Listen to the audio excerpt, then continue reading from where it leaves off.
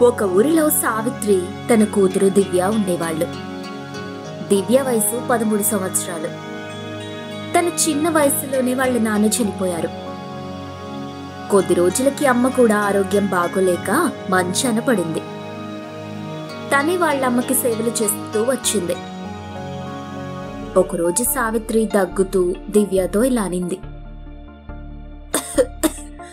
అమ్మా దివ్య నీకింత చిన్న వయసు. ఎన్ని కష్టాలు వచ్చాయి తల్లి. నాకు ఆరోగ్యం కుదుట పడేలాగా లేదు. నువ్వు ఇలా చూసుకుంటూ ఇంకా ఎన్ని రోజులు నరకం చూడాలో. తల్లికి సేవ చేసుకోవడానికి అదృష్టం ఉండాలమ్మా అది అందరికీ రాదు. నాకు నీ రూపంలో వచ్చింది. అయినా డాక్టర్ గారు చెప్పారు కదా ఆ మందులు వాడితే నీకు కొద్ది రోజుల్లో నయమై నువ్వు మామూలు మనిషి అవుతావని ఆ మందులు కూడా అయిపోయాయి. ఇక మన దగ్గర డబ్బులు కూడా లేవు కదా. అయ్యో అవును. మందులు కూడా ఇవాళే అయిపోయాయి కదా. సరే అమ్మా నేను బయటికి వెళ్ళి ఏదో ఒక పని చేసి నీకు మందులు తీసుకొస్తాను. సరేనా? సరే అమ్మా జాగ్రత్త. తొందరగా ఇంటికి వచ్చేసేయ్ అలాగే అమ్మా. అంటూ బయటికి వెళ్ళింది.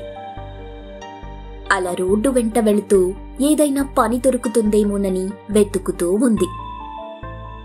చూస్తుంటే ఎక్కడా పనున్నట్టనిపించలేదు. అలా దారిలో కొందరిని అడిగింది. కానీ ఎవరూ ఏ పని లేదని చెప్పారు. ఛ! ఏంటి? ఎక్కడ పని దొరకటం లేదు? ఇప్పుడు అమ్మకి కావలసిన మందులు ఎలాగబ్బా? అనుకుంటూ అలా ముందుకు నడుచుకుంటూ వెళ్తూ ఉంది. ఇంతలో ఎదురుగా ఒక మెడికల్ షాప్ కనిపించింది. వెంటనే అక్కడికి వెళ్ళి అన్నా ఈ పేపర్లో ఉన్న మందులన్నీ ఇవ్వండి.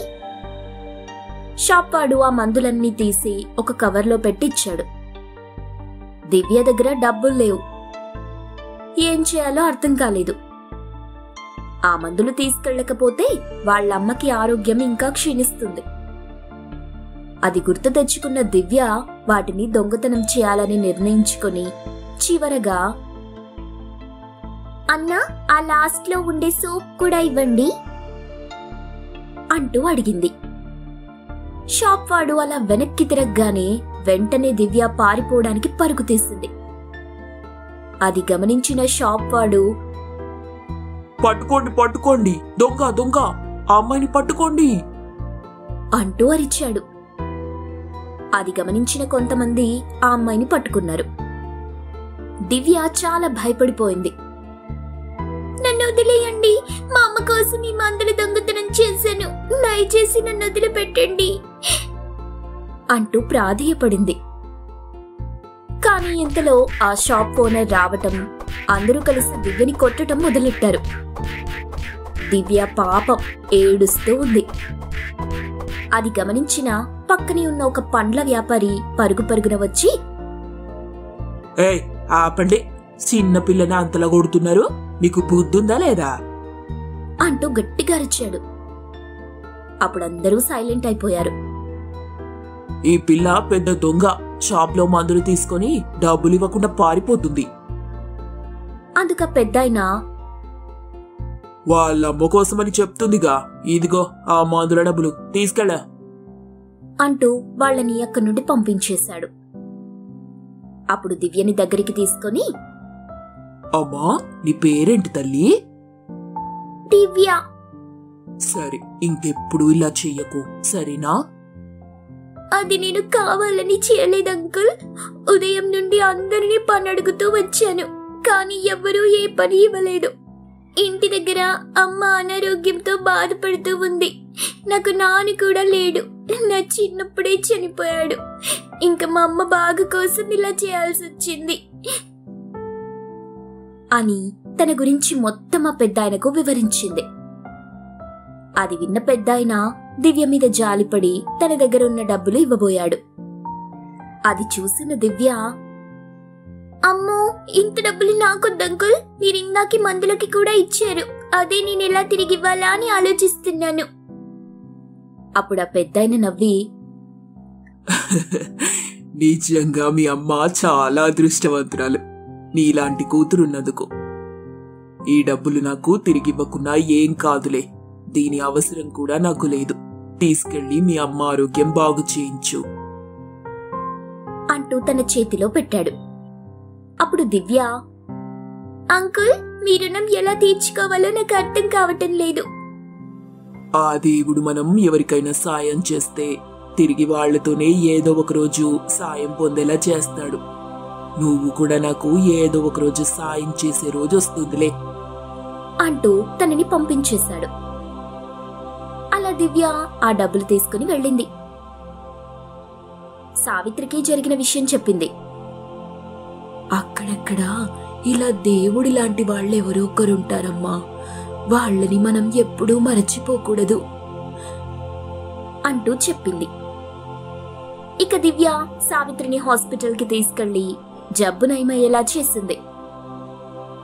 అలా కొద్ది రోజులు గడిచాక ఒకరోజు దివ్యకి ఆ పెద్దాయనని కలవాలనిపించింది. ఆ పెద్దాయనుండే ప్లేస్కి వెళ్ళింది. కానీ అక్కడ ఆయన లేడు. అరే ఈ పెద్దాయన ఇవాళ ఇక్కడికి రానట్టున్నాడు. అనుకుని వెళ్ళిపోయింది. అలా మళ్ళీ మళ్ళీ తరువాత చాలాసార్లు వచ్చి చూసింది. అయినా పెద్ద ఆయన అక్కడికి రాలేదు. తరువాత తెలిసిన విషయం ఏంటంటే ఆ పెద్ద ఆయన తన వ్యాపారాన్ని వేరే ఊరికి మార్చాడని. అయ్యో అంకుల్ ఈ ఊరు వదిలిపెట్టి వేరే ఊరికి వెళ్ళిపోయాడా?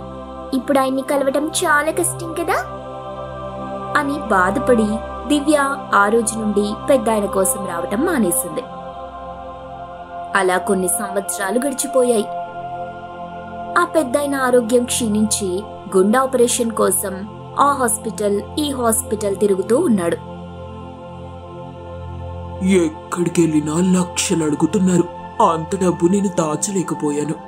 ఇక నేను ఎక్కువ రోజులు బతకలేను. అంటూ రోడ్డు మీద వెళుతూ కళ్ళు తిరిగి కింద పడిపోయాడు.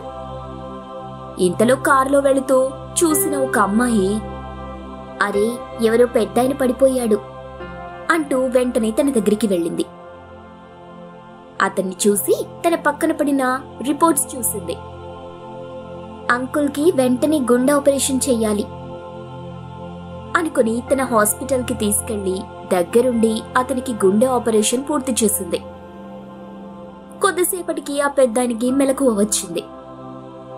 అప్పటికే తన ఆపరేషన్ పూర్తయిన విషయం అర్థమైంది. అప్పుడు డాక్టర్ వచ్చి ఇప్పుడు ఎలా ఉంది అంకుల్? ఇంకా మీకేం ప్రాబ్లం లేదులేండి.